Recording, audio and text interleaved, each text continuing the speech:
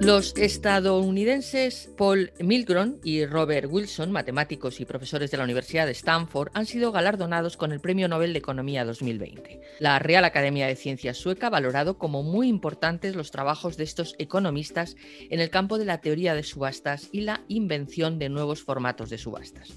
Repasamos la trayectoria y principales aportaciones de Milgrom y Wilson con Rafael Morales Arce, catedrático de Economía Financiera y académico de número de la Real Academia de Doctores de España. Gracias por estar de nuevo con nosotros, Rafael Morales. Hace un placer. Muchas gracias. Se les considera economistas muy importantes y, como ya ha ocurrido en ocasiones anteriores, habían recibido previamente en 2012 y en 2015 el premio Fronteras del Conocimiento de la Fundación BBVA. Rafael Morales Arce, ¿qué valoración hace usted de la elección de la Academia Sueca y quiénes son los economistas galardonados? Pues yo valoro muy positivamente la elección que ha hecho la Real Academia de Ciencias de Suecia, distinguiendo a estos dos ciudadanos norteamericanos en un tema que podemos calificar como microeconómico, la teoría de la subasta, que además cada día está impactando más en el comportamiento de los nuevos mercados promovidos por los agentes económicos. El primero de los galardonados, Milgrom, es un ciudadano nacido en Detroit, en el estado de Michigan, en 1948, y es licenciado en matemáticas por la Universidad de su estado, pero se especializó en estadística en la Universidad de Stanford, en la que también obtuvo el doctorado. La actividad docente la inicia en la Universidad de Northwestern en Illinois, en donde alcanza la máxima categoría en las universidades americanas, la categoría de profesor, lo equivalente aquí a catedrático. Posteriormente trabaja en la Universidad de Yale y vuelve a Stanford a partir de 1987 y desde esa fecha trabaja habitualmente allí.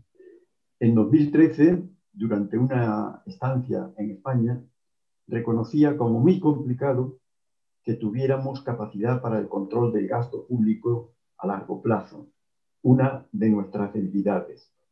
Milgrom, por su parte, ha sido muy reconocido no solo por sus investigaciones en el tema de las subastas, sino por su capacidad para el diseño de los mercados, la elaboración de contratos e incentivos, la economía industrial, la economía de las organizaciones, las finanzas y otros temas muy relacionados con lo que se conoce como la teoría de los juegos. Por su parte, Wilson nació en el estado de Nebraska en 1937, licenciándose y doctorándose en matemáticas en la Universidad de Harvard, con un máster en su famosa escuela de negocios. Desde el año 1964 ejerce la docencia en la Universidad de Stanford y sus principales trabajos se centran en las interacciones estratégicas, en las cuestiones relativas a las situaciones en las que los agentes económicos tienen información limitada y desigual acerca del entorno en que se desenvuelven sus negocios. ¿En qué han coincidido estos galardonados? En primer lugar, en la búsqueda de modelos de gran impacto. Por ejemplo, el lograr la simplicidad del acceso a las subastas, cumpliendo con los objetivos del subastado, que en ocasiones es una entidad de carácter público. El gobierno norteamericano encargó a Milgrom la elaboración del pliego de condiciones de importantes bienes y servicios de carácter público, como el de la frecuencia radioeléctrica. Sus investigaciones son continuistas con la línea que iniciara en el pasado otro galardonado, Shapley, dando nombre a media docena de teoremas, algoritmos e índices relacionados con subastas y contratos mercantiles, como forma de oficializar acuerdos entre proveedores y clientes de prestaciones económicas.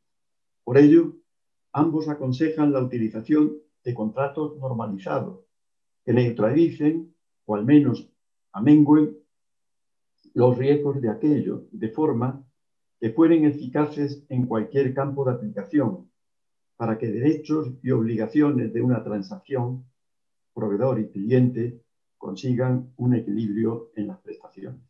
Bueno, como nos comenta Rafael Morales Arce, las investigaciones y las aportaciones a la teoría de subastas de los dos galardonados, Milgrom y Wilson, son muy destacables. Pero queríamos ir un poquito más allá y que Rafael Morales Arce nos explicase las aplicaciones que tienen en la economía real, no sé si se puede decir así, en los mercados reales. Por ejemplo, por lo que he leído, en el mercado laboral tienen muchísimas aplicaciones o también en el nivel medioambiental, por ejemplo. Sí, efectivamente, el campo de aplicación de estas investigaciones es en la práctica ilimitado. Por ejemplo, para el uso de Google, de Yahoo o de Microsoft, para gestionar subastas relacionadas con el posicionamiento de las empresas en materia de publicidad, operaciones de salidas a los mercados de valores, asesoramiento general, en rediseño de mercados y otras muchas aplicaciones, puesto que aparte de la evolución natural que tienen los negocios en todo el mundo y especialmente en Estados Unidos, las aplicaciones ahora se enriquecen con problemas relacionados con el tema de la pandemia, puesto que la pandemia está obligando a las empresas a renovar sus estrategias, a contratar nuevo personal, a contratar con proveedores que posibiliten una mayor agilidad en la gestión de los pedidos, etc. Hay una serie de movimientos muy importante en las empresas que, repito, están en procesos normales de reestructuración y de adaptación a los nuevos mercados, cada vez más complejos y más competitivos. Por tanto, creo que es muy importante este tipo de aplicaciones y este tipo de uso de investigaciones microeconómicas que tanto favorecen la gestión de las empresas. Este premio también pone de nuevo sobre la mesa bueno, la importancia de los trabajos que se hacen en Estados Unidos en estas cuestiones, que suele ser el país donde más premios, más galardonados hay en, en el Nobel de Economía, pero también de las matemáticas y de la estadística. Efectivamente, la concesión de estos premios Nobel a ciudadanos norteamericanos es algo notorio. Es cierto que de los 86 premios concedidos hasta ahora, 45 han recaído en ciudadanos de ese país. Pero independientemente de cuestiones subjetivas, es cierto que en ese entorno hay una gran tradición, sensibilidad y recursos para apoyar económicamente a las personas que se dedican a investigar hechos relevantes para los agentes económicos. Por otra parte, uno de los críticos habituales a este tipo de situaciones piensa que la concesión pues, ha sido aceptada y que las pujas bien lo valen como forma de homenaje a aquellas personas que han sido galardonadas.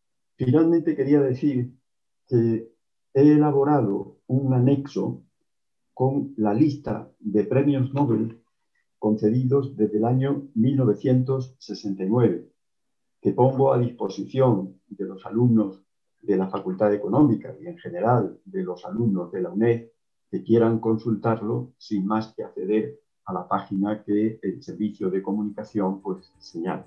Muchísimas gracias por su participación, Rafael Morales Arce, y también por esa aportación que va a hacer con ese anexo que nos va a facilitar para que los alumnos puedan consultar los premios Nobel de Economía desde 1969. Ya saben cómo tienen que acceder a nuestro programa canal.uned.es y después buscando serie Economía, Empresa y Turismo en Radio 3, en el programa que estamos haciendo con Rafael Morales Arce, en su compañía, pondremos una ficha con la información que él nos va a facilitar. Muchísimas gracias, Rafael Morales Arce. Hasta una próxima ocasión.